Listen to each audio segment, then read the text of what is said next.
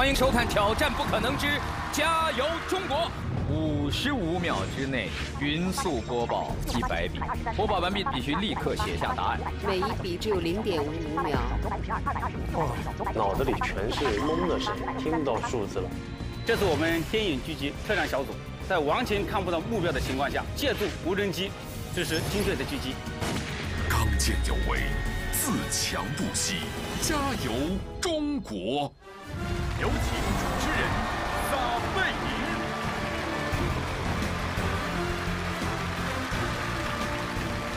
刚健有为，自强不息。欢迎各位收看中央广播电视总台央视综合频道大型励志挑战节目《挑战不可能之加油中国》。欢迎各位！挑战不可能是每一个平凡生命的极致追求，也是一直推动人类进步的一个力量。在并肩前行的道路上，每一个中国人都是努力加油的挑战者。在中国人手中，变不可能为可能。让我们一起为每一个把不可能变为可能的中国人加油，向每一个把不可能变为可能的中国人致敬。海天蚝油一招定鲜，本节目由加一点就好鲜好鲜的海天蚝油独家冠名播出。挑战成就未来，本节目由为祖国下一代喝上好奶粉的君乐宝奶粉特别呈现。本节目由海尔智慧家庭赞助播出，海尔智慧家庭挑战不可能，家的新可能。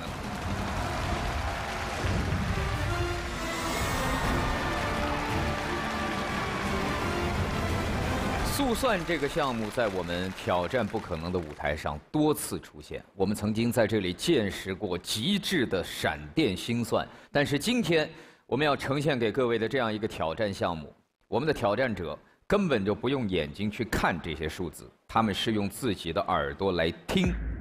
今天带给大家的这个挑战项目叫做闪电听算，掌声有请挑战者出场。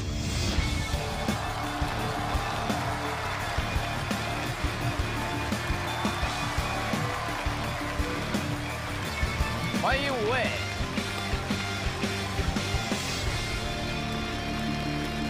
大家好，我叫吴雅琪，今年十一岁，来自湖南省浏阳市人民路小学。我叫潘玉莹，今年十一岁，来自湖南省浏阳市人民路小学。我叫刘航，今年十一岁，来自湖南省人民路小学。我叫周晓栋，今年十三岁，来自鹤壁市骑滨中学。我叫任超，今年十二岁，我来自河北省张家口市宣化区鼓楼小学。欢迎五位挑战者。他们五个人要进行的这个项目的挑战，其实上我们采用的是一个淘汰制。哦。对于挑战者来讲，这是一个比较严苛的挑战方式。也就是说，我们设定的这几轮，如果你要是达不到要求和标准，你可能就没有办法参加下一轮。只有坚持到最后的挑战者才有可能挑战成功，所以五位都是很年少的听算高手。这三位在一个学校的，嗯，你们有一个团队是吗？是。平常去参加珠心算比赛，我们都是一个团队，我们获得过团体一等奖。什么比赛的团体一等奖？全国、世界都有，世界的也有。哇！团体一等奖。另外两位同学呢？在二零一八年，我们两个都参加了全国前三十强的珠心算比赛，我是第一名。我是听心算淘汰赛的第一名。啊！所以今天强强相遇，自然会有一番不得了的挑战。挑战规则，我们一共要分为三轮进行挑战，难度。逐轮的升级，挑战者每轮只有一次机会，回答正确者进入下一轮，最后通过三轮挑战的挑战成功。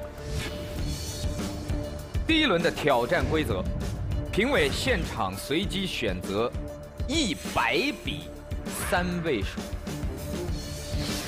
五位挑战者进行加法运算，电脑系统。将在六十五秒钟之内匀速的播报这一百笔数字。播报完成之后，挑战者必须立刻写出答案，回答正确者进入下一轮挑战。也就是说，每一组数字播报的时间加上运算符号，只有零点六五秒。哇！接下来，我们有请挑战助理为我们的五位挑战者摘下耳机和眼罩。好，我们的五位挑战者都已经做好了准备。接下来，我宣布，第一轮挑战开始。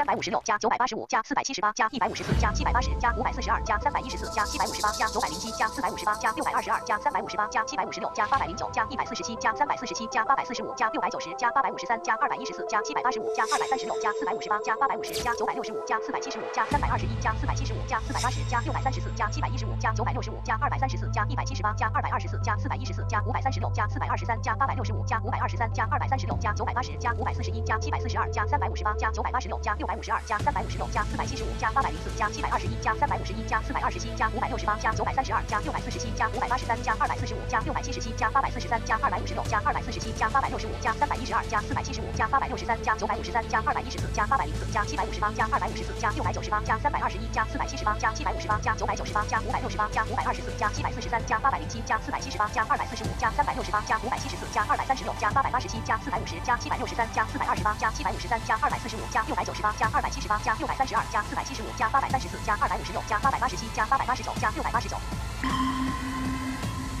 哇哇哇！天哪！我是我的耳朵出问题了，还是这个机器出问题了？我怎么觉得速度？你知道到最后什么感觉吗？最后就像唐僧在念紧箍咒一样，啊，脑子发胀。然后我在看这个数字的时候，然后突然发现报已经报到下一排。我根本没找到那个报的在哪儿。我之前还真的傻乎乎的问过我们的编导，我说为什么要用机器播报，为什么不用人？编导说人报不了。我只听到加加加加加。我的天！掌声送给他们，谢谢。我们接下来验证答案。首先，我们来看正确答案。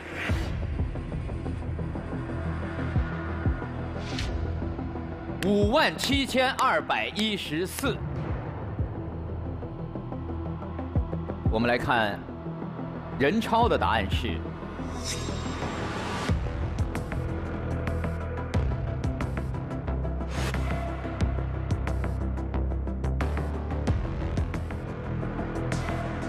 五。五。七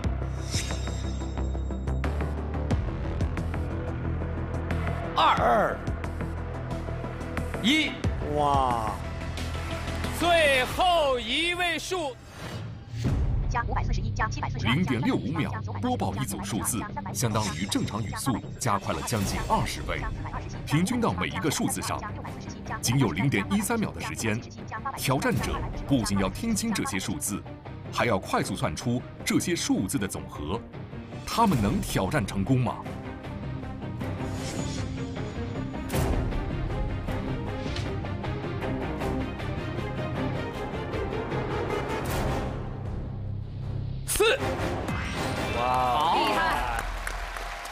超率先取得晋级下一轮的资格。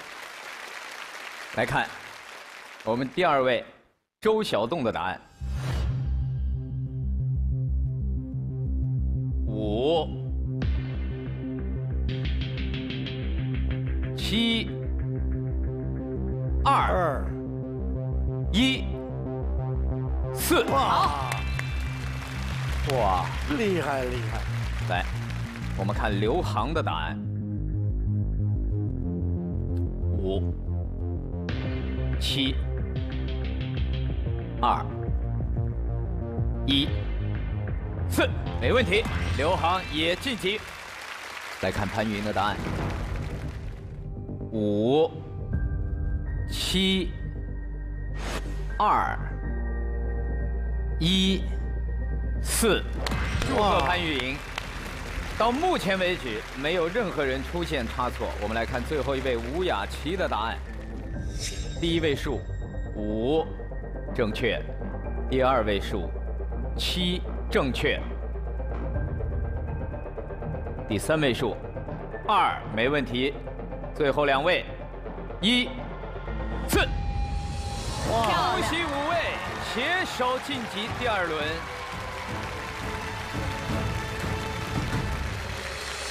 厉害厉害！第二轮，我们的规则是这样的：评委现场还是随机选择一百笔三位数字，但是我们的五位挑战者在进行加法运算的时候，他们听到的播报是五十五秒之内匀速播报一百笔，每一笔只有零点五五秒。零点五五秒，播报完毕之后，挑战者必须立刻写下答案。答案正确的才能进入下一轮。哇，每一组数字刚才都已经到那种速度了，再每一组再压缩零点一秒。刚才是零点六五秒嘛，现在零点五五秒。我怀疑还听得清楚吗？而且跟我想的还不一样，他不是说三五六加四五八加，他是说三百五十六，就是你你得把这个数字念完整，所以他这个压缩起来各个音节就更短。所以这个真的很难想象。那接下来，再一次为他们戴上耳机眼罩。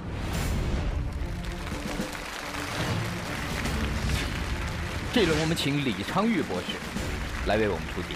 我心里面有点不忍心啊，太快了。与第一轮零点六五秒相比，第二轮的播报速度只有零点五五秒。时间的缩短，意味着所有播报的数字。更容易让人听不清楚，他们还能挑战成功吗？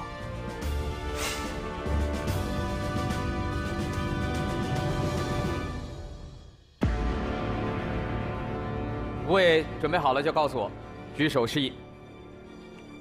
好，接下来我宣布，第二轮闪电听算挑战开始。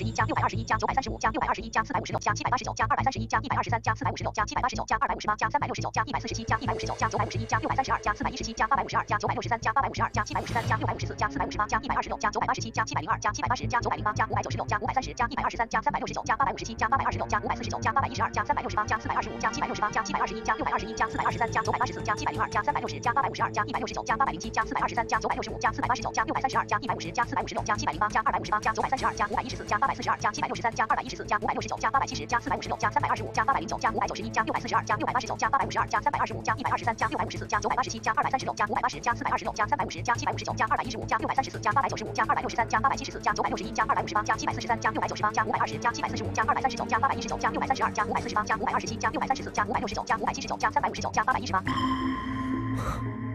哇！我就听到这了这了这了这了。太可怕了，这个太可怕了。这个我是真听中间好几个数字我没听清楚。实话实说，有没有就是你们心里会担心，比如中间哪几个数字我可能没听清或者听错了？有有。你看他们还是会有。我也有几个像四百多少，我也听不清楚那个。我们来看正确答案是五八二九一。来看第一位任超的答案。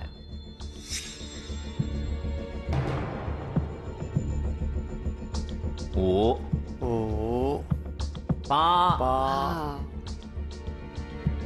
二九，那就没错了。一。哇，袁超漂亮，率先晋级。来看第二位周晓栋的答案，五。没问题，八。没问题。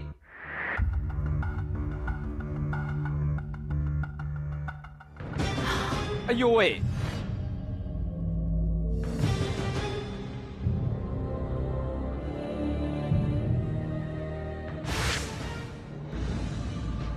啊。哎呦。啊了一个。幺九一我算题的时候我进错位了少进一位。所以算错了。非常遗憾，周小栋一个数字之差，从二变成了一，遗憾的失去了晋级的机会。我们来看刘航的答案。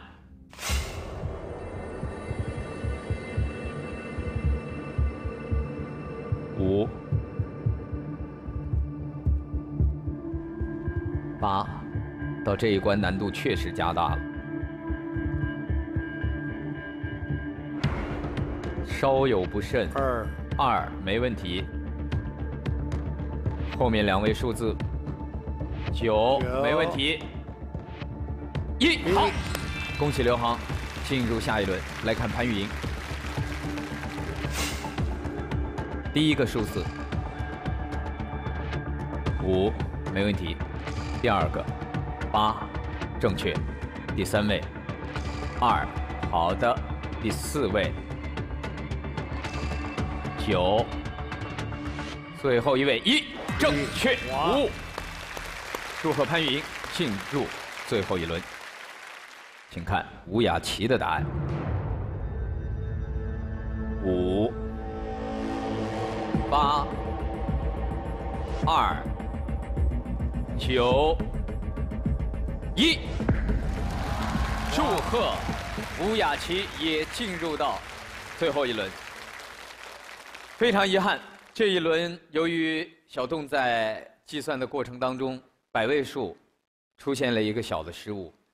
这个是因为中间有数字没听清吗？嗯，加错了。我认为我是可以算对的，但是却。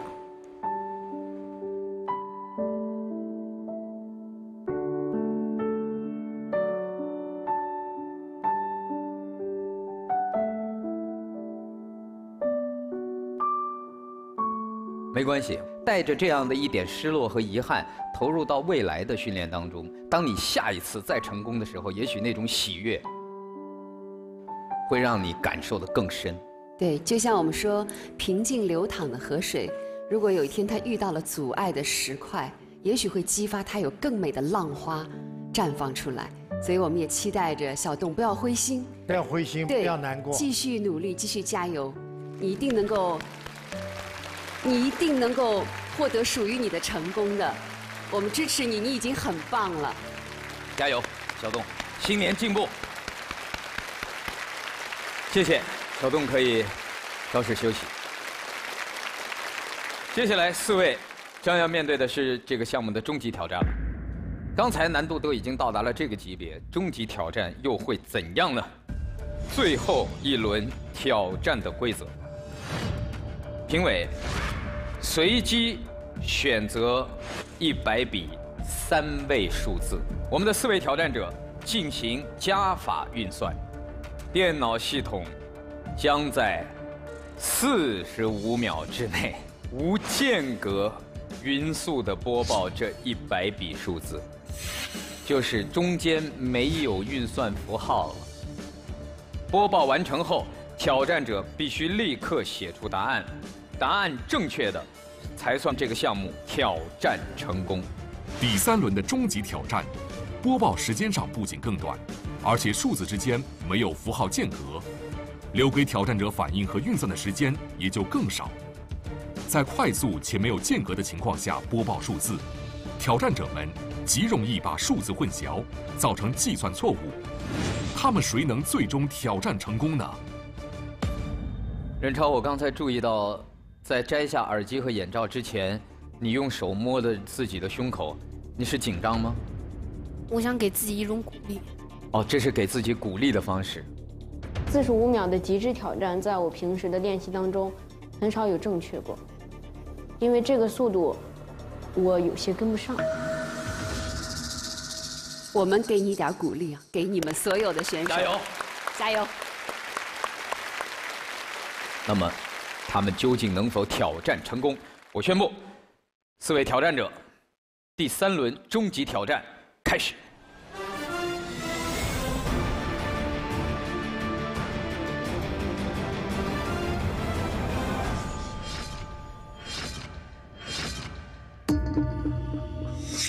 五百四十九，六百五十九，八百五十一，三百六十七，八百九十六，八百九十八，五百六十九，八百七十五，一百二十三，六百九十八，七百九十，八百五十六，九百八十九，四百五十二，六百九十八，六百四十九，八百七十三，一百六十五，九百八十六，九百八十，九百七十八，九百五十六，九百八十九，七百四十六，二百三十五，八百七十六，五百九十八，五百四十九，八百九十五，六百二十三，六百七十八，二百五十八，六百四十八，七百五十四，六百八十九，二百三十四，九百七十六，八百零八，五百二十三，六百五十一，九百八十四，六百九十五，三百二十一，五百九十七，八百六十九，六百五十九，五百四十九，五百九十九，五百八十六，三百二十一，四百五十七，五百四十一，二百三十六，五百四十二，五百八十五，六百八十七，九百八十五，六百三十六，五百八十九，八百七十四，五百六十八，二百五十四，三百一十五，六百九十九，六百五十一，二百三十六，五百八十九，六百八十七，八百六十九，五百八十九，九百八十六，五百九十六，八百七十四，五百一十二，五百四十八，八百五十四，五百八十九，八百五十九，八百五十九，七百四十五，六百八十七，四百二十三，五百六十九，八百一十二，五百六十八，七百八十九，五百一十二，八百九十，七百四十九，六百九十七，八百九十九，九百五十二，二百二十五，六百九十九，九百九十九，九百八十五，六百八十九，四百七十八，五百六十三，九百八十五。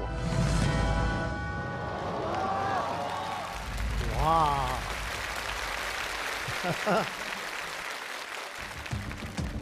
听得我五脏六腑都纠结在一块儿。听久了以后，脑子里就全是那种回音懵的声音了，就完全已经听不到数字了。我们来看，正确答案是六六九四八。请看，第一位任超，他的答案是。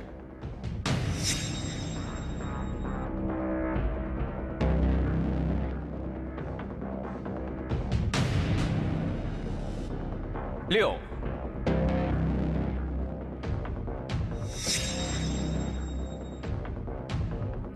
六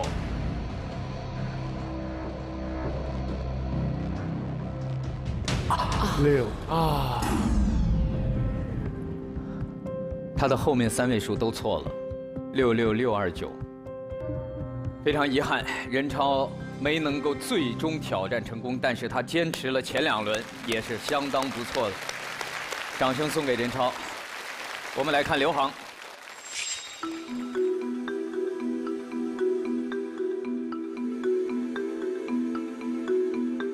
六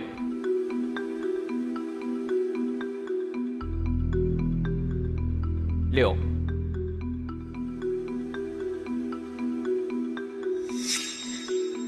好像是九。哎呀，四啊，六六四八三也是后三位出现了失误。这次题目难度也跟我们平常的题目难度不一样，大大增加了。我能做出前两道题来已经很不错了。非常遗憾。刘航也没能挑战成功，还剩下两位挑战者，看看这一轮他们当中能否有人最终挑战成功。终极挑战，没有间隔的快速报数，可以说是在能够听清楚数字的底线上，挑战了听算能力的极限。接连两位挑战者都没能算对答案，挑战失败。这样极限难度的听算挑战。剩下的两位挑战者能算对答案，挑战成功吗？来看潘玉莹的答案：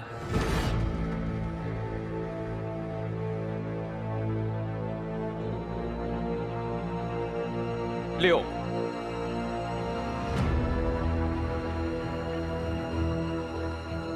六。刚才的两位都是在后三位出的问题，我们来看潘玉莹的第三位数字是九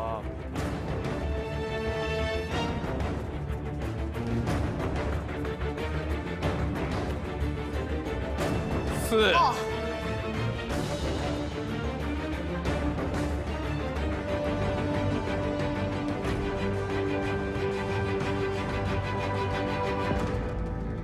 没问题。漂亮！潘玉莹挑战成功。好，我们已经有一位挑战成功的了。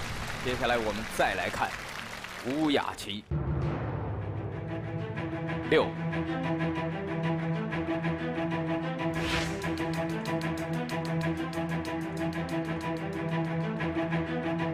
六九。没问题，看后两位，啊，没问题，没问题。四，最后一位数。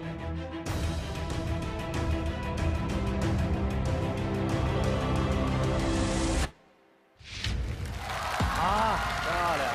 吴雅琪挑战成功。掌声送给两位挑战成功的选手，祝贺你们！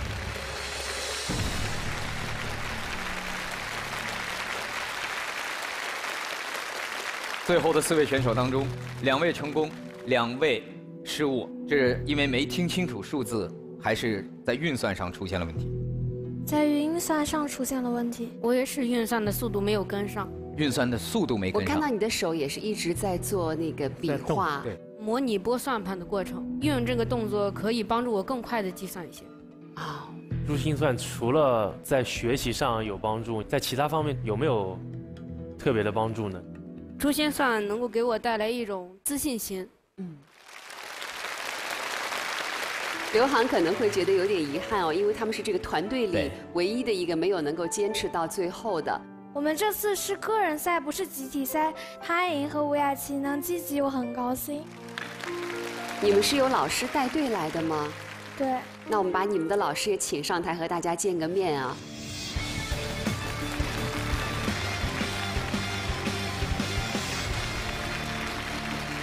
我叫胡平，我来自湖南省浏阳市珠心算协会，我是会长，同时也是他们的老师。老师先对没有能够坚持到最后的刘航。先说几句吧。他参加了两次世界比赛，两次全国比赛，都获得了团体一等奖和个人全能金牌的好成绩。这次有点失误，不要紧，我们继续努力。他是个全能型的选手，也就是说，在速算的各个方面，对。哦。刚才你讲世界比赛。除了中国、日本、韩国，还有哪些国家？去年的第七届世界比赛，有二十六个国家和地区。二十六个国家。对，我们的选手在世界比赛团体一等奖。胡老师，您为什么要建立这样一个培训中心呢？因为我们浏阳从事珠心算教学，在小学一到三年级中已经有三十年的历史了。这些孩子都是五岁开始学习珠心算，六岁通过选拔招进我们培训中心，进行全免费的培训。珠心算的培训都是我们为了传承中华民族珠算非物质文化遗产。在二零一三年的时候，我国的珠算被联合国教科文组织正式列为我们人类的非物质文化遗产。今天胡老师带着三位孩子来到现场，两个同学在最后一轮以完全正确的答案挑战成功，也祝贺胡老师可以稍事休息。那这个项目，我们的两位挑战成功的选手能否进入荣誉殿堂？我们稍后等待三位评委的抉择。我在荣誉殿堂等你们，祝你们好运。累不累啊？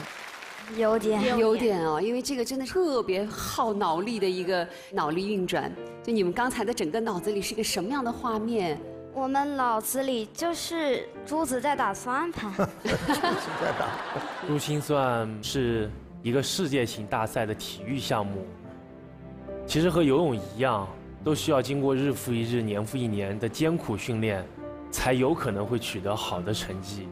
但是我们今天看到我们的五位挑战小选手，应该说年纪都非常的年轻，就已经完成了这么高难度的珠心算挑战比赛，真的已经非常非常的了不起了。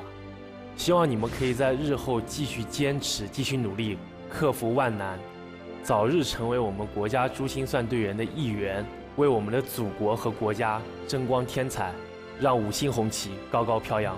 对于今天你们是否能进入柔音殿堂？我的答案是能，能。接下来我们就有请潘玉莹、吴雅琪步入今天的荣誉殿堂。少年强则国强。中国之所以能够发展到今天，恰恰就是因为一代代少年、一代代青年的发愤图强。希望未来你们能够凭借自己的天赋和努力，真正的成为国之栋梁，为中国的进步和发展做出你们的贡献。少年，加油！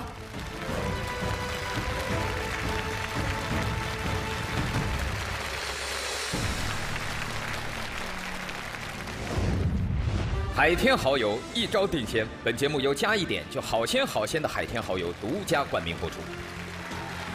本节目由海尔智慧家庭赞助播出，海尔智慧家庭挑战不可能，家的新可能。本节目由吉利汽车博瑞博越特别支持，大美中国车为中国加油。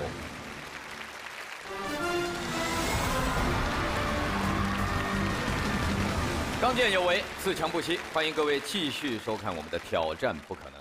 接下来这个挑战项目是和记忆力有关。我先问一下咱们三位评委，你们觉得你们自己的记忆力怎么样？要看记什么。我们随机出三组数字，十一位数。为什么出十一位数呢？因为它跟手机号码的数字是一样。对于你们来讲，节奏是最容易找到的。给你们三分钟去记。就十一位数字是吗？不，三个十一位数。三条十一位。三个。我们试一次，好不好？来，我们在大屏幕上出数字。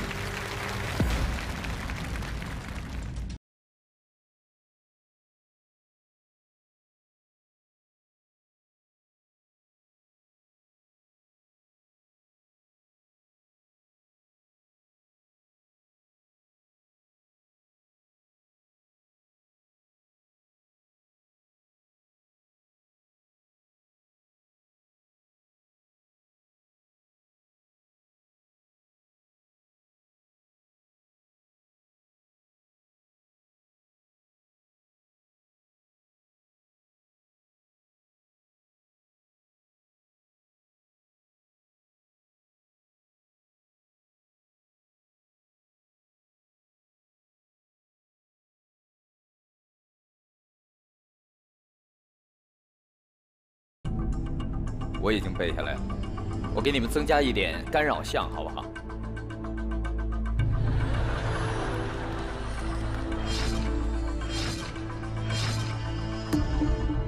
糟糕，我刚才一跳把自己跳忘了，赶紧写答案，三位。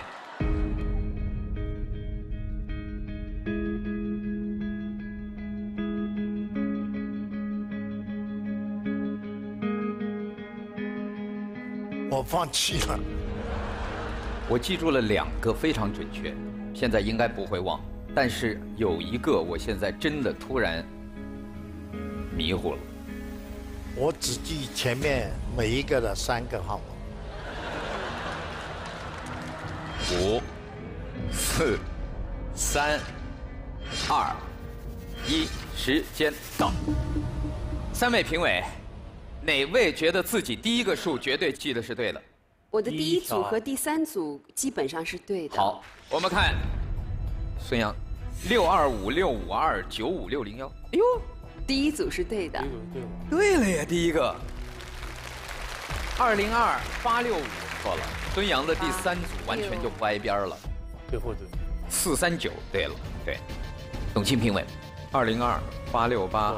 七八三七二，这个好像不对。错了。零九二错了，零九四应该是。我们大家三分钟记三组十一位数，都已经觉得非常困难。但今天我们这位挑战者要挑战的这个极限，远远超出我们的想象。掌声有请挑战者出场。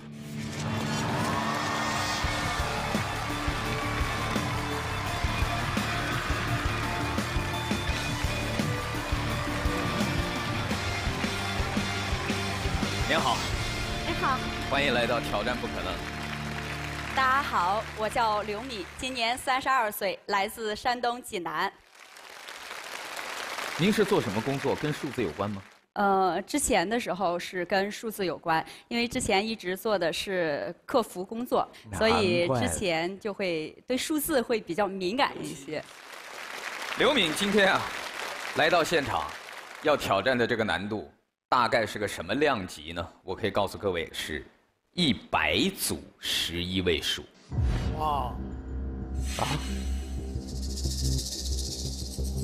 也就是一千一百个数字。接下来，请听挑战规则。我们稍后会让评委现场随机的选择一千一百个数字，每十一个是一组，一共有一百组。但是各位，难度还在于我们让挑战者在三十分钟时间内进行记忆，而这一千一百个数字，我们出现在大屏幕上的时候，并不会给它分组。我们是一整屏出来，中间没有分隔，所以对他来讲，他得自己去按组记。记忆完毕之后，我们现场会把这一百组数字随机的打乱他们的顺序，跟他记的顺序是不一样的。然后我们在现场有一百部手机。我们把这些手机都编了号，零一号到一百号。我们把这一百组数字随机打乱以后，输入到这一百部手机里，生成这个手机的虚拟号码。然后，我们的评委从这一百部手机里随便挑三部手机。刘敏，他要记住这三个手机是哪三组十一个数，输入进去。最后三部手机对应的号码。你只要能够有两个答案是正确的，而且现场能够拨通这两部手机，我们就算挑战成功。他只有一次机会吗？只有一次机会。那很困难，所以我当时看到这规则，我都是懵的，连我看规则、理解规则都用了很久。对于挑战者来讲，他实际上要反复好几次记忆。先记数字，然后记分组，然后还得把这个分组输入到哪部手机，他得记下来，最后才能根据手机的编号找到这十一个数字。准备好了吗？准备好了。我们给刘敏加加油。接下来，请到备战区，请挑战助理为刘敏戴上耳机和眼罩。选一千一百个数字，这本身就是一个很艰巨的工作了。我们三位评委一块儿来吧。好，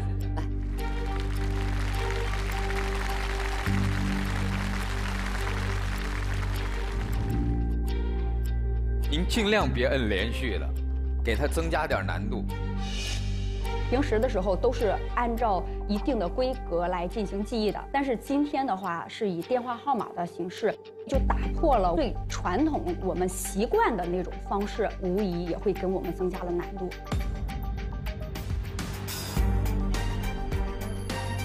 谢谢三位评委，一千一百个数字已经输入系统。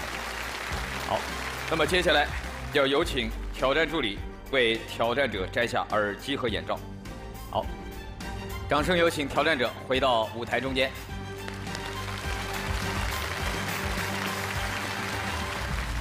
这一千一百个数字现在已经输入到系统了，只要你准备好，我们随时可以开始挑战。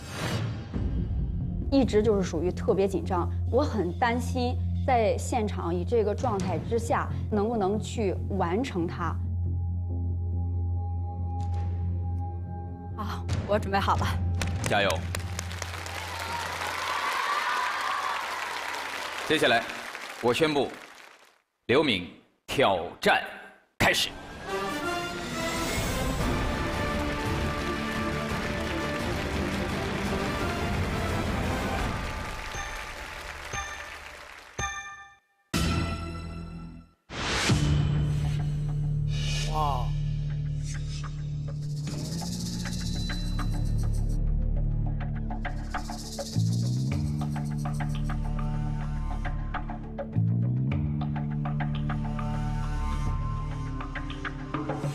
千一百个数字是一整屏出来，中间没有分隔，他得自己去按组记。我眼睛都有点花，我眼睛都有点花。仰着头去看整个的屏幕，直接打破了我们传统的那种学习或记忆的方式。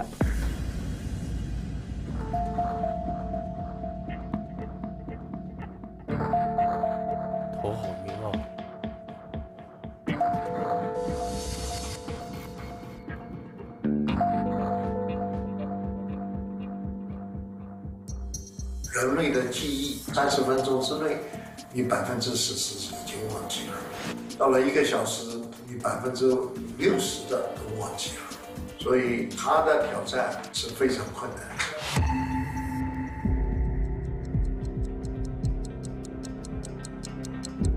一千一百个毫无规律可循的数字，没有间隔的，密密麻麻的显示在大屏幕上，非常容易让人产生眩晕感。而刘敏却要在三十分钟内将这些数字全部记住，这无疑是对人类大脑短时记忆极限的一次挑战。刘敏能成功吗？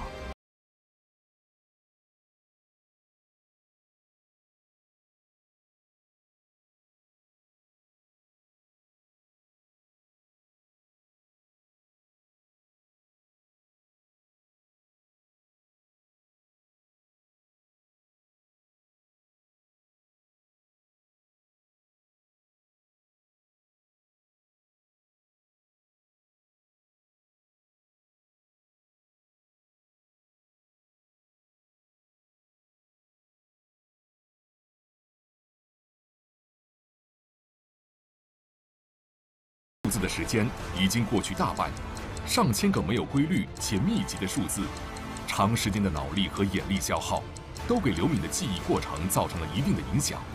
他能克服重重困难，将所有数字全部记住吗？时间还有二十秒。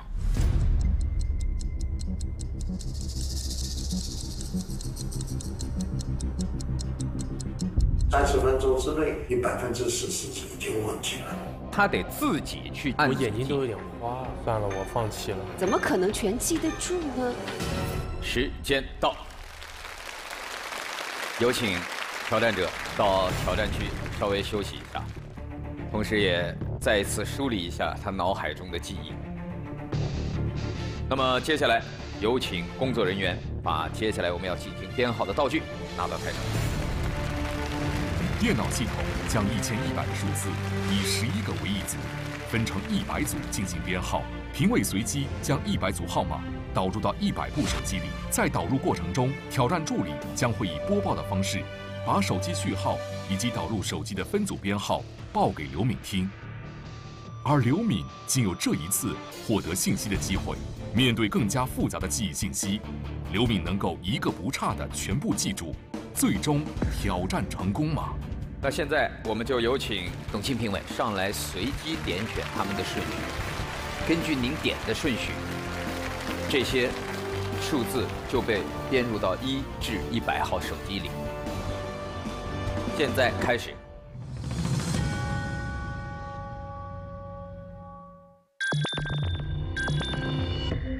请一号手机导入四十九组号码。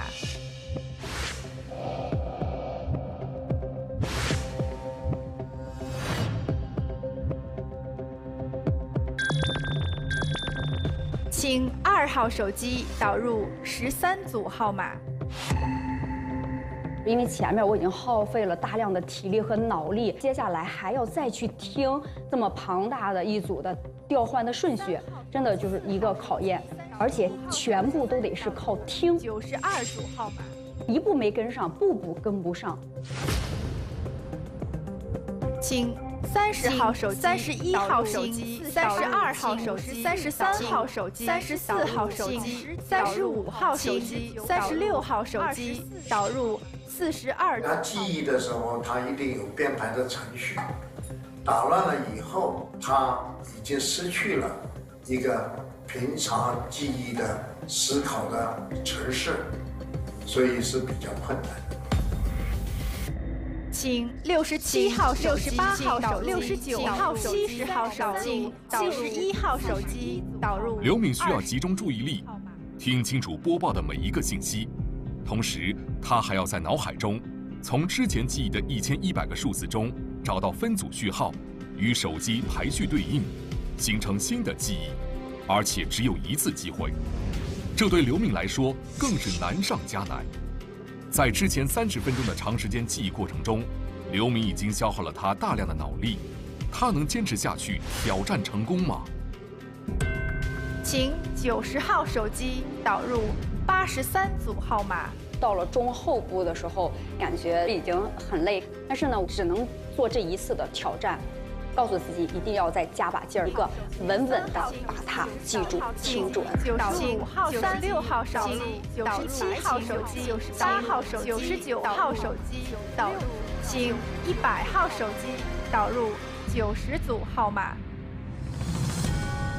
谢谢董卿评委，谢谢孙杨评委，为我们选择了一百组号码相对应的手机。这一百组数字已经作为虚拟号码输入到了每一部手机当中，每个手机只有唯一的一个号码，所以稍后我们的验证方式也将用拨打的方式来看看号码是否能打通。接下来我们有请三位评委分别。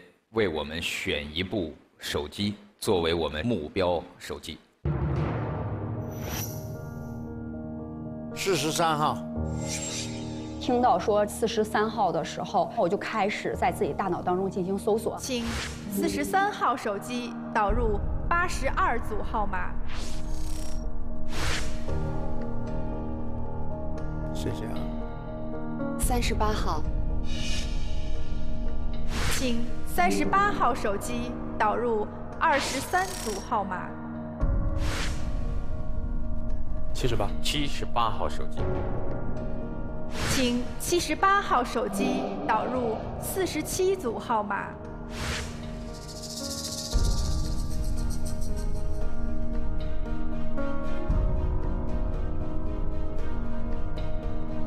好，接下来让我们有请挑战助理为挑战者摘下眼罩。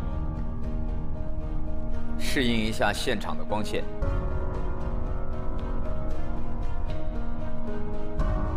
当你准备好了以后，可以告诉我。准备好了。好，请将四十三号手机、三十八号手机和七十八号手机对应的那十一位数字写在我们的答题卡上。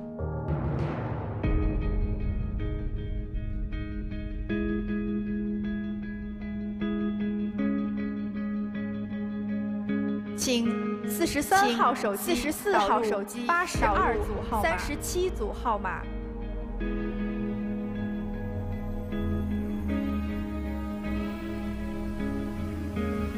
一千一百位数字分成一百组号码，再随机编排进一百个手机里。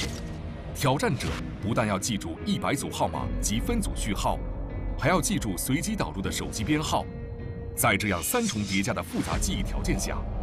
要想找出评委随机挑选的三个手机对应的号码，这几乎是不可能完成的挑战。刘敏能挑战成功吗？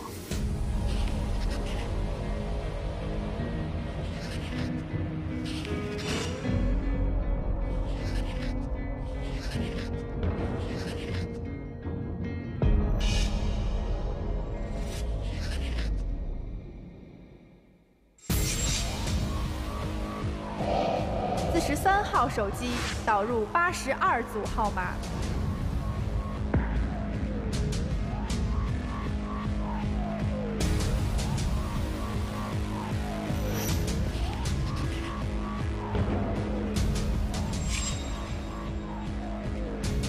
四十三号倒数第二位的时候模糊了，不太有把握是哪个数字。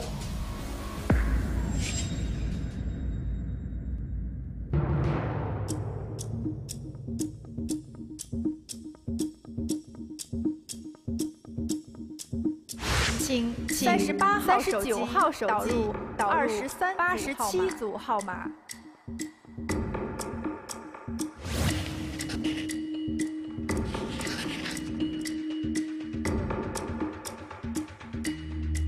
在写第三十八号的时候，回忆的信息会非常的清楚，很顺畅的就把它写出来了。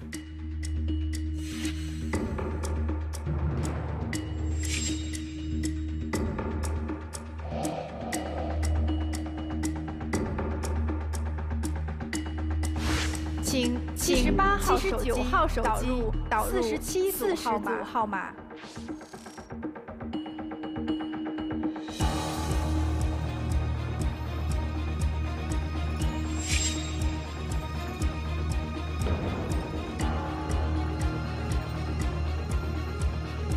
七十八的时候，它已经是偏后边的一些信息了。我要第一个是确定好了它的这个位置和顺序到底是哪一个。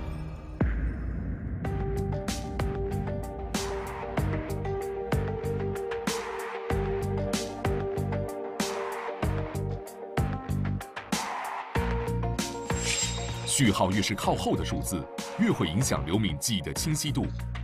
她迟迟未能写出最后一组数字，随着时间的流逝，记忆的信息可能会越来越衰减。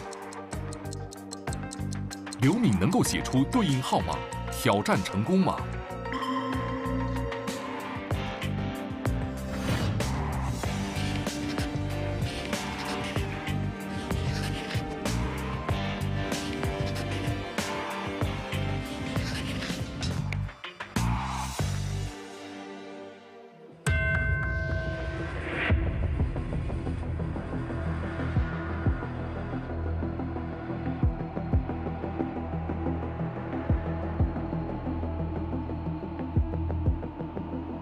后一位的时候出现了模糊的状态，所以一直在那儿纠结。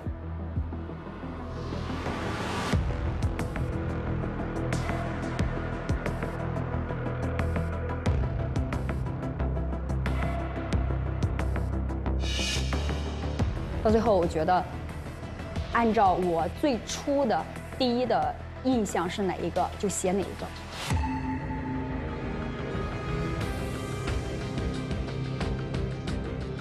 四十三号手机导入八十二组号码。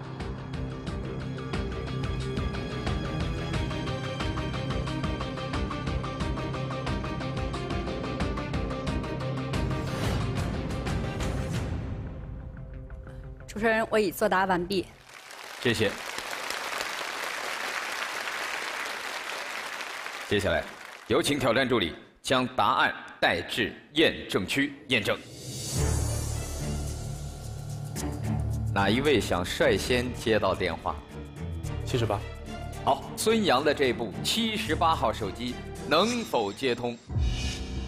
来看七十八号手机，刘敏给出的十一位数字是，请七十八号手机导入四十七组号码。七十八的时候，它已经是偏后边的一些信息了。我要第一个是确定好了它的这个位置和顺序到底是哪一个。二五八八六七。四、一、五、八，在最后一位的时候，我是出现了模糊的这种状态。九、二五八八六七四一五八九，请拨打。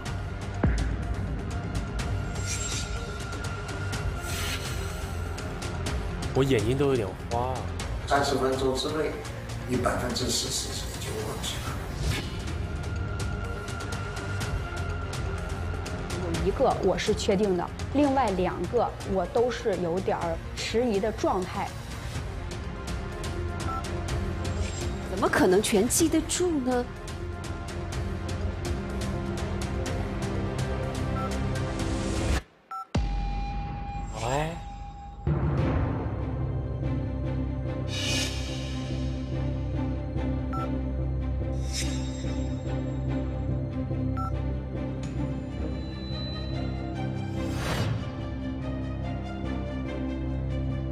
没有此电话对应的数据，这个意味着号码错误。太遗憾了。刘敏，你现在还能再回忆一下这一组里边哪个数字出错了？你想得起来吗？应该是最后一个数字。最后一个数字，你现在觉得是几呢？可能。请七十八号手机导入四十七组号码。我觉得是二。可能是二。好，我们把最后一个数字改一下啊，改成二。我试一下啊。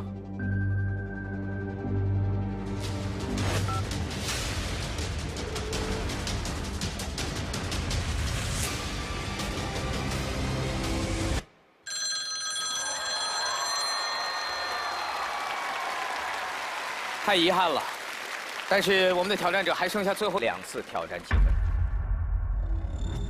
第一个手机未能打通，号码记忆错误。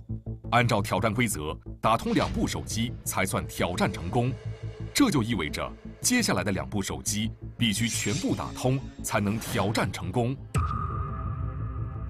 接下来哪位想接到电话？好，李博士。四十三号手机，我们来看挑战者刘敏给出的对应的这十一位数的号码。每亮出一个号，我们的挑战助理就将播出一个数字。第一个数字，四十三号手机导入八十二组号码。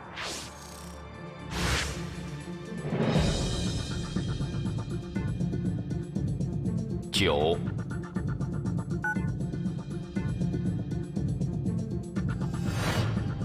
七，第三个数字。五。四。二。三。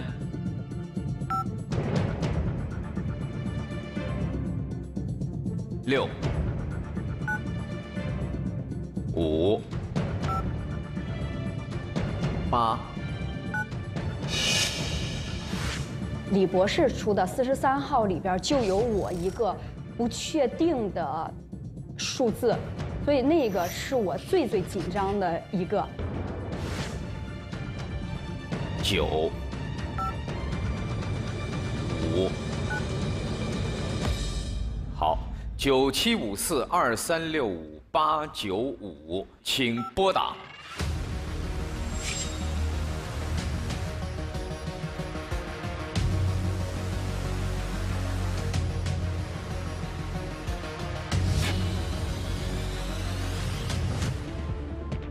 挑战规则要求打通两部手机才算成功。第一部手机因为号码错误未能打通，如果第二部手机还是未能打通，那么。刘敏的挑战就将宣布失败。今天我们这位挑战者只有一次机会。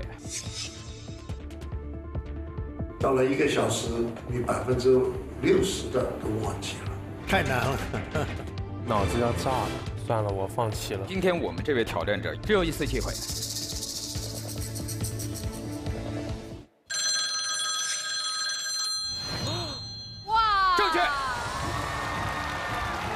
十三号手机成功接通。打通的时候，我觉得我自己都有点控制不住我自己，真的成功了，我觉得很不容易啊。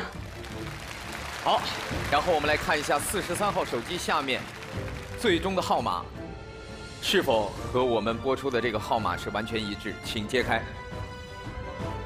九七五四二三六五八九五。回答正确。接下来，董卿评委。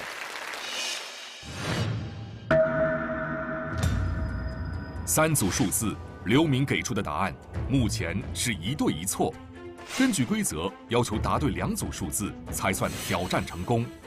剩下最后的一组数字，刘敏能够回答正确，挑战成功吗？我们看最后董卿评委的号码是三十八号手机。我们来看一下刘敏给出的答案三十八号手机对应的十一位数字是？请三十八号手机导入二十三组号码。四。八。九。六、五、二。平时的时候都是按照一定的规格来进行记忆的，但是今天的话，需要除了我记忆以外，还要额外的去对这样的信息进行处理，无疑也会给我们增加了难度。三十分钟之内，百分之四十是已经忘记了。我眼睛都有点花，算了，我放弃了。三、一。怎么可能全记得住呢？零、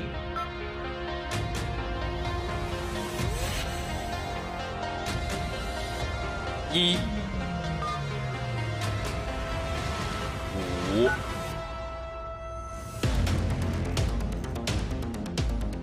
四八九六五二三一零一五，好，确认手机上的号码五。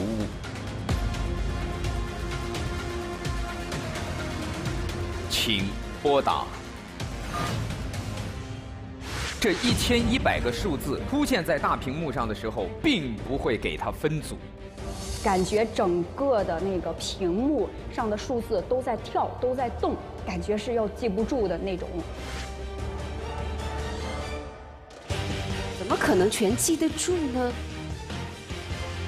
这一百组数字随机打乱以后。输入到这一百部手机里，只有一次的这个机会，一步没跟上，步步跟不上。算了，我放弃了。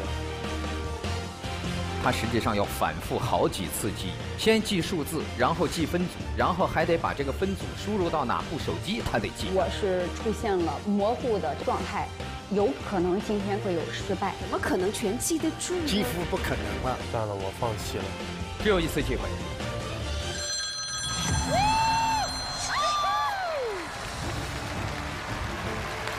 哇，太难了，这个太厉害了看一下，三十八号，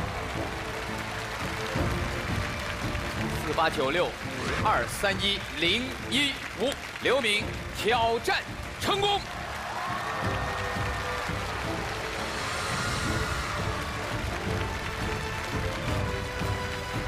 我看你也是一直紧张的呀，在旁边每报一个数字，刘敏都在那。哎呀，哦，你太了不起了，刘敏。你是怎么做到的呀？其实我跟孙杨当时去把这一百组数字和一百个电话号码等于完全打乱次序的时候，我们俩就说这是不可能完成的任务。嗯，确实，就是在这个场内按照这个环境来记，确实是就是非常有难度的，所以到现在还是就是很紧张。很紧张啊！对，是不是也是很大的消耗啊？嗯，是的。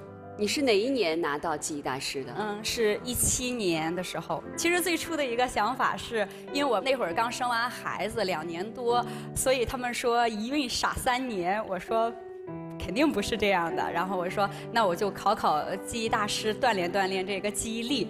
所以开始有这样的想法要训练的。你爱人支持你吗？当时我跟他说完我的想法之后，他也是想了想，然后说。如果你决定了，然后我会全力的支持你。他今天在我们的现场吗？来了，他跟我一起来了。啊，我们掌声欢迎刘敏的爱人，好不好？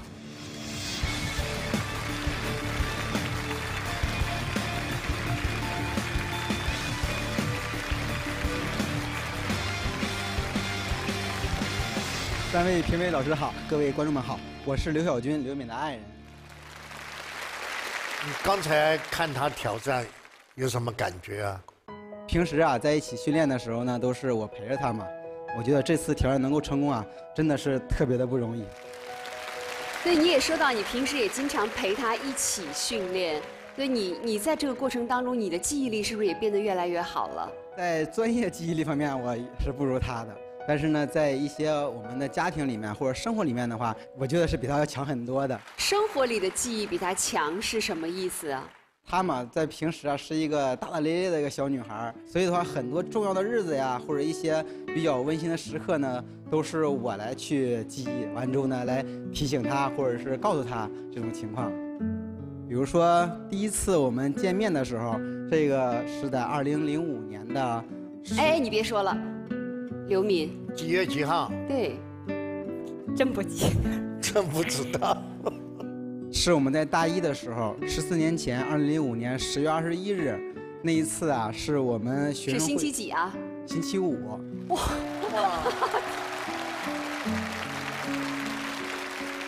从我们相识到我们结婚领证这一天嘛，一共是经历了两千七百四十九天。哇！今天是你们认识的多少天了？你记得吗？嗯，今天的话是我们认识的四千八百四十一天。你怎么会记得这么清楚啊？和我在一起呀，是他最年轻的时候就跟着我在一起，十四年的时间了已经。所以的话，我就觉得应该真心的去对待他。所以呢，就在我的这里啊，就好像有一个数字一样一直在跳动。我们每在一起一天就跳动一次，这样的话他的日子啊就一点点就过来了，所以呢就记得比较清楚一些。好感动哦！没事。对刘敏有什么想对小军说的吗？老公，真的这么多年，谢谢你。真的，没事。嗯，希望我们以后还能这样一起。嗯，十四年，四千八百四十一个日日夜，我们都走过来了。你看期间啊，有开心，有快乐，有争吵，当然了，也有让你伤心的时候。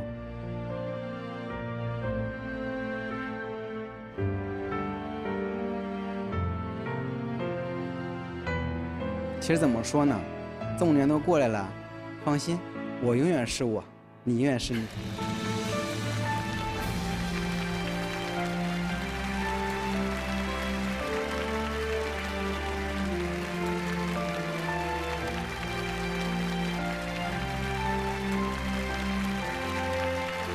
这么多年都过来了，放心，我永远是我，你永远是你。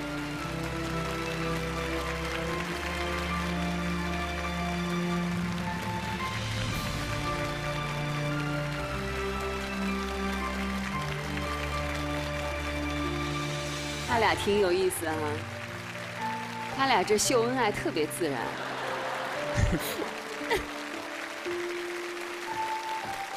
哇，仿佛我们都不存在一样，相互表白，就好像他们俩在一个山顶，就他们俩在满天的星光下，是啊，开始倾诉，你你们我们都还存在呢，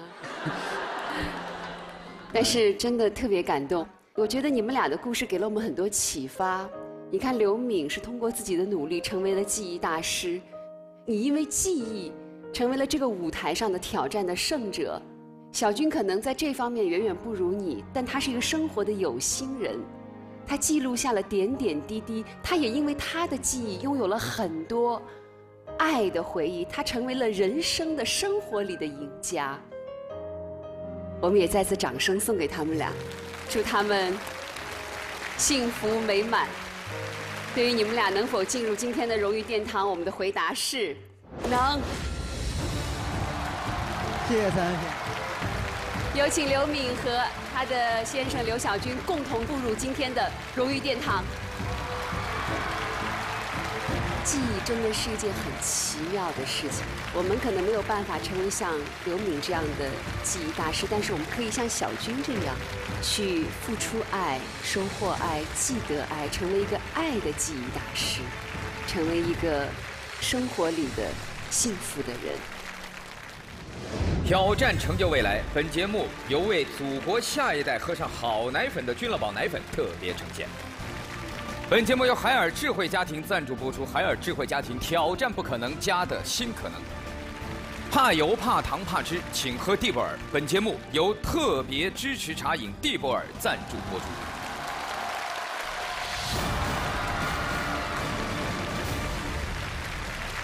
可能很多人都在影视作品里看到过这样的场景。那就是当这个英雄和坏蛋对抗的时候，有的时候坏蛋往往会找到一个，比如说墙啊，或者是一个什么遮蔽物后边来躲避追击。但是这个时候，仿佛我们的英雄人物就好像长了透视眼，有的时候是完全能够透过墙，或者是透过他的这个障碍物，击中躲在他背后的敌人。这种场景。感觉好像只能是出现在虚构的影视作品里。那么现实当中，我们的狙击手是否真的具有这样的神奇本领呢？接下来这个挑战项目就与此有关。我们一起到场外去见证一下这样一个挑战。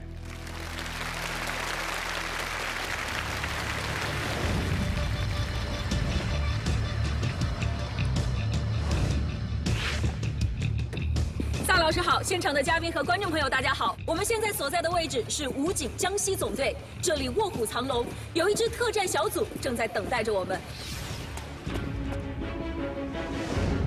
我们将跟随贺小良支队长一起见证一场实战狙击挑战。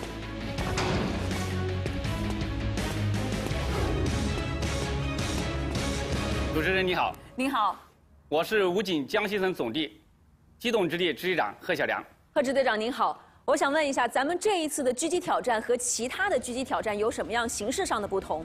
这次我们支地派出的挑战者是2018年刚刚成立的天眼狙击特战小组。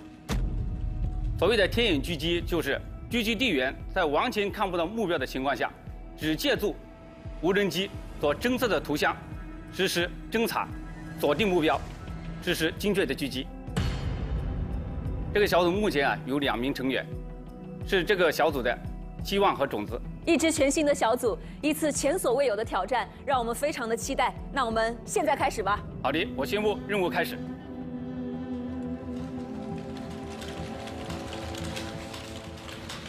天眼狙击小组，请注意，我命令在三分钟之内完成全副武装，到达指定位置，进行隐蔽。据情况通报，有两个目标，你们要在两百米外的距离选择最佳的狙击位置进行隐蔽，然后等待下一步作战计划。稍后我将与你们会合。随着中国无人机技术的成熟，新的作战方式正在被广泛应用于实战。天眼狙击小组从构想到成立，将迎来他们第一次重要检验。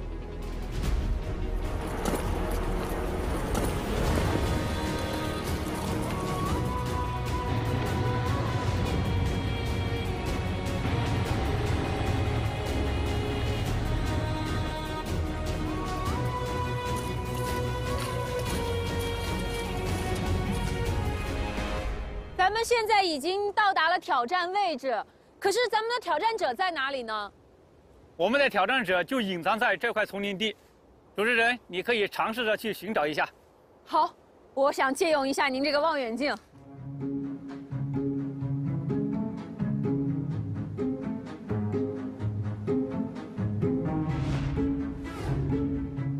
我再近距离的寻找一下。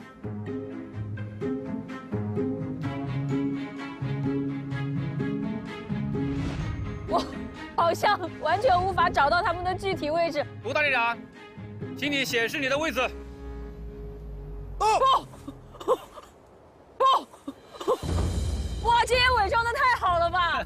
你好，二位好。报告，我是特战大队大队长卢定军，这是我的观察属杨成成。你好，这个手上拿着的就是你们一会儿要使用到的无人机设备是吗？是的，我们今天挑战的目标是利用无人机对隐藏的目标实施观察。然后确定位置，实施远距离狙击。在距离挑战者二百米远的房屋内，用标靶模拟匪徒移动的状态。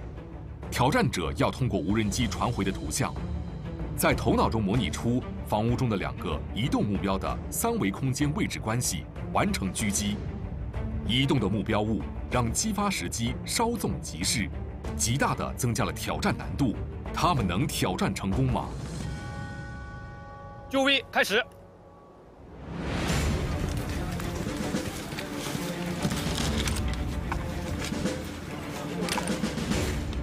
卢大队长和观察员已经寻找好了狙击位置，全部到位了。在这一边往那边看的时候，我觉得那个墙明显小了好多。对对对，距离还是比较远的，对我们的观察员也是提出了很高的挑战。他们二位应该都已经准备好了吧？准备好了。好，狙击手、观察员，请准备。挑战，开始。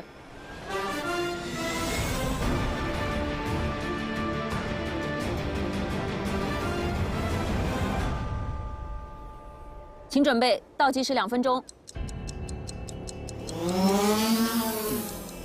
现在无人机快速升起。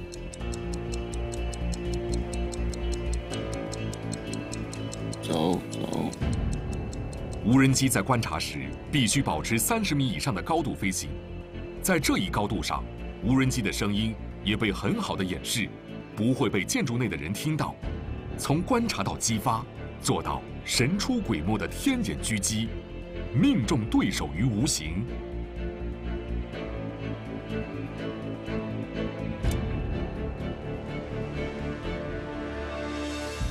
发现目标没有？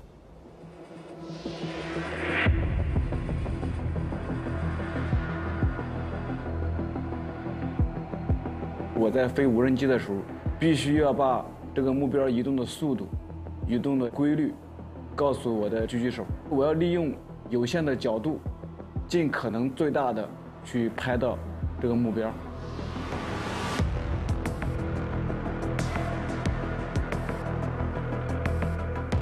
我感觉现在慢慢的也起风了，这个风也会对他们的射击有影响，对吗？对对对，无人机在三十米的高空会受到风速跟气候的影响，它会造成无人机的。左右摇晃，对我们的狙击手在观测过程中带来难度。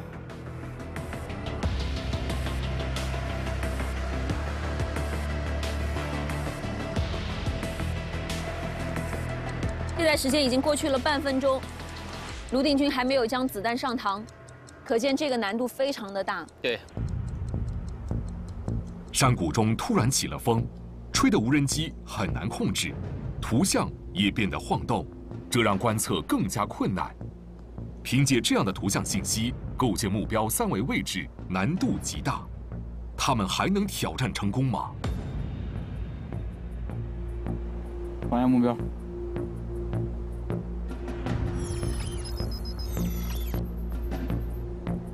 最大的困难在于，我不仅要感知这个目标它的位置，而且我还要感知它这个移速，因为我是通过无人机画面来观察目标的。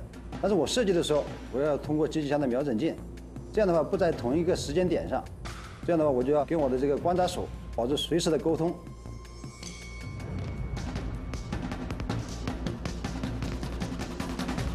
我们先辨别左侧的目标，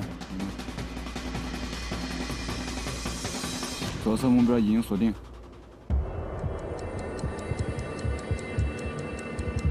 时间已经过去一分钟。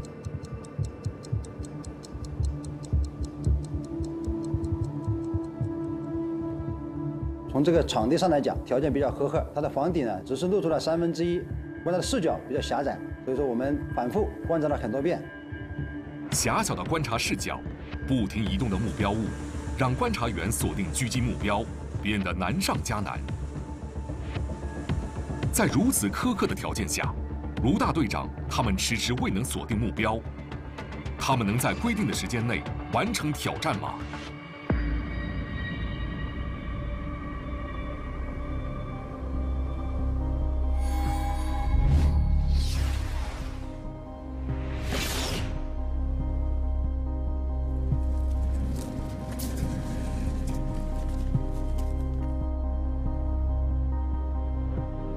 弹上膛，现在准备第一次射击，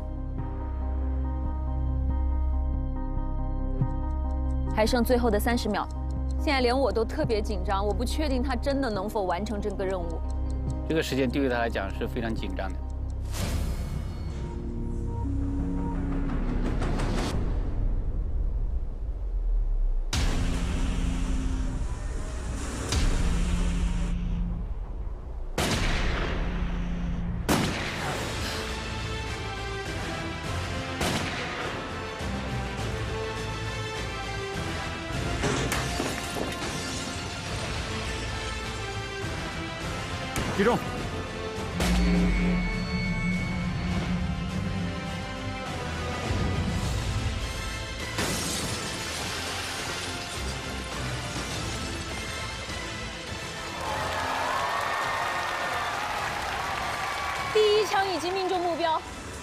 高难度的挑战，他已经完成了第一个目标的射击。我们来屏息期待第二枪。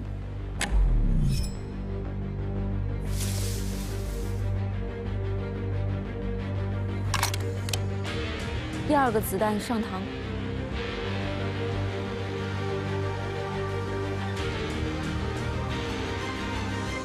第二枪发现这个目标跟第一枪的高度不一样，同时啊，对我们也提出了一个新。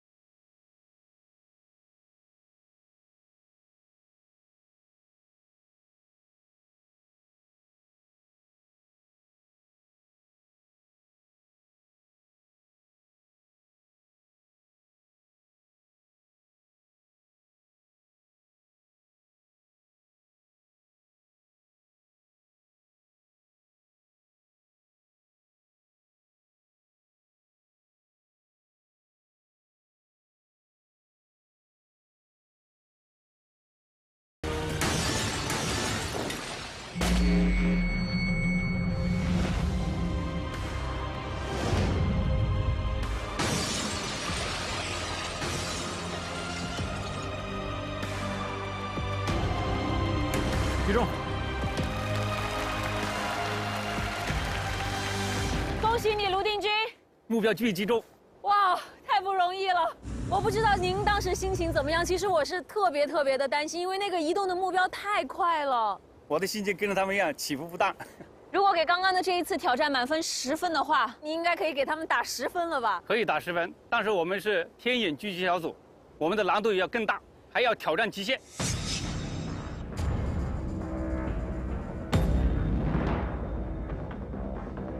接下来挑战才是我们的聚中目标，已经是移动目标了，还要如何升级？下一步我们将在移动装置的基础上再加上钟摆遮挡。挑战升级，实战一比一模拟狙击，用钟摆模拟人质，遮挡在移动的狙击目标前，再次增加了狙击难度。这不仅要求观察员要定位精准，更要求狙击手能精准配合，把握住最佳射击时机。挑战者要在两分钟内完成狙击，且只有一次射击机会。狙击手、观察员，请准备，挑战开始。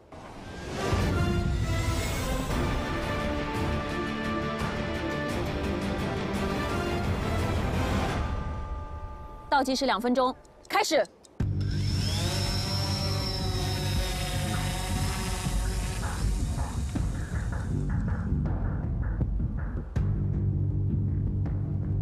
他们依然只能通过无人机来监测移动目标，而移动目标面前还有一个移动的钟摆。对，这个任务真的是太不可能了。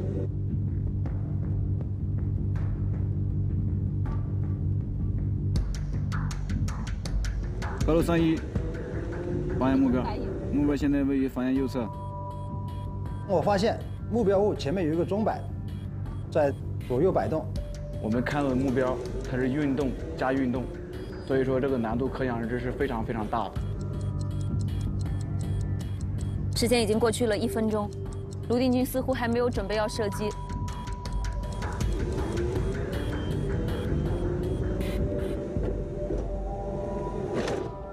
面对前所未见的双向运动狙击物，观察员久久未能锁定目标，而时间已经过半。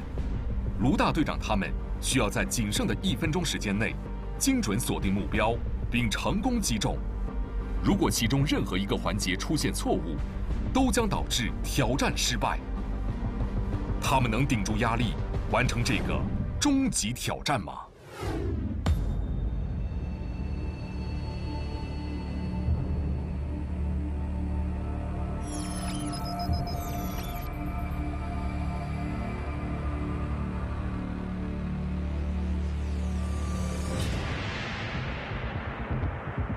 判断这个钟摆运动的轨迹是最花时间的。首先，反复要确认它的运动的周期，而且为了能够有效的击中目标物，我还要确定轨道运行到哪个点的时候，钟摆的位置是在哪里的，要做到三者有机的结合。测下风速，风速一点二，报完毕。还剩最后的三十秒。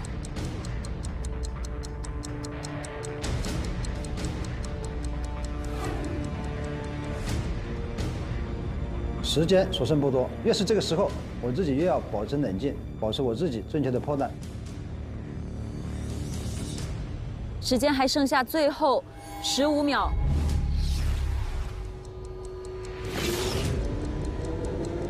时间越来越紧迫。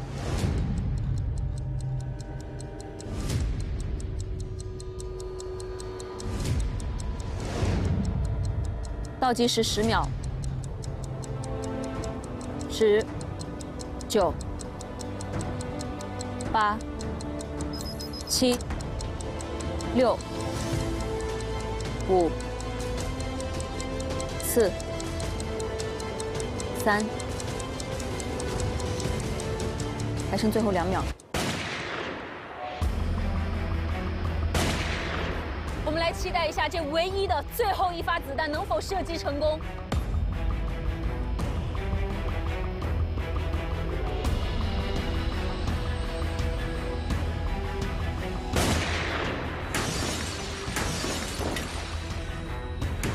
集中！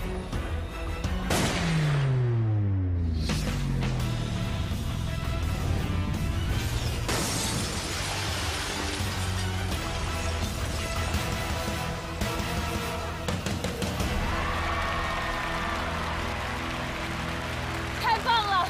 这个最难的任务你们完成了，恭喜！谢谢易老师，祝贺你们！祝贺你们！队长队长。嗯。再一次恭喜你们，挑战成功！耶！非常的精彩，科技与军事实力的一次完美结合。那么这样一个挑战过后，我相信所有的观众都想认识一下这两位了不起的狙击手。掌声有请我们的挑战者进入现场。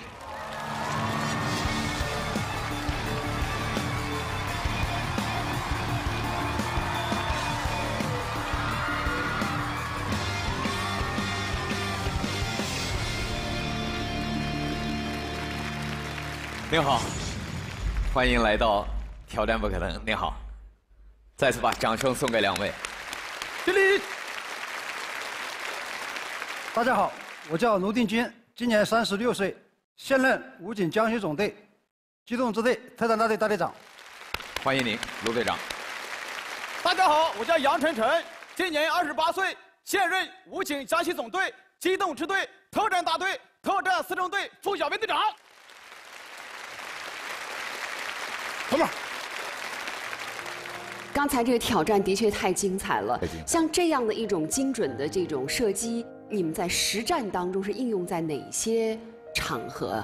主要就是针对这个目标不能直视的情况下，比如说有墙体遮挡、一些篱笆、芦苇，在这种情况下，我们进行研究的一个新的课题。但是因为无人机它毕竟还是有噪音的嘛，它一发现无人机它跑了。对，我们经过一次一次的测算，多少距离是没有噪音的？我们是飞到一个没有噪音的高度，就地面是听不见的，这个高度。是的，是的。目前在我们现有的科技条件下，这样一支全新的队伍，采用这样一支全新的方案，而且已经应用到训练实战当中，我相信这对于保障人民群众生命财产安全是又一个好消息。你认为一个优秀的狙击手，他身上需要具备的潜质是什么？要成为一名优秀的狙击手，应该具备坚强的体魄、顽强的意志、良好的视力、听力。经过各种贴近实战条件下的反复的训练，每个季度要搞一次魔鬼周训练，就是在野外陌生地域、各种极端恶劣的条件下昼夜实施的挑战人体极限的训练。这对每名队员的意志力和体力是个极大的考验。这张照片是我们魔鬼族期间在泥潭里面进行的极限体能训练，主要是锻炼队员们这种不怕苦、不怕累的精神。这张图片展示的是我们的队员在魔鬼族期间，一个小队集体拉一辆卡车，这辆卡车的重量大概是十五吨，而且这个路的坡度大概有三十到四十度，主要是锻炼大家这种团队协作的精神。所以，像刚才二位挑战的这个项目，也是在平时日复一日艰苦训练的基础上才能完成的。我们每一个人都看过战争片，但是那是艺术里的战场。今天二位的挑战，让我们看到了战场上的艺术。作为狙击手，枪王之王的高超的射击技艺，特别难能可贵的是你们对无人机富有想象力的应用。我觉得也体现了中国部队迈向创新驱动时代的脚步，同时也让我们感受到中国梦、强军梦，梦想可期，梦想必成。所以，对于今天二位能否进入我们的荣誉殿堂，我的回答是能。能。谢谢各位老师。有请卢定军、杨晨晨步入今天的荣誉殿堂。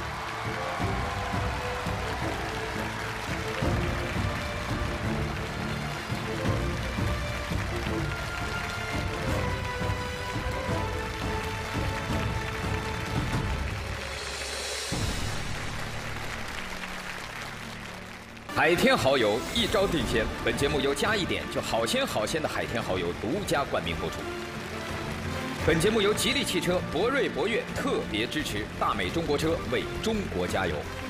怕油怕糖怕吃，请喝蒂博尔。本节目由特别支持茶饮蒂博尔赞助播出。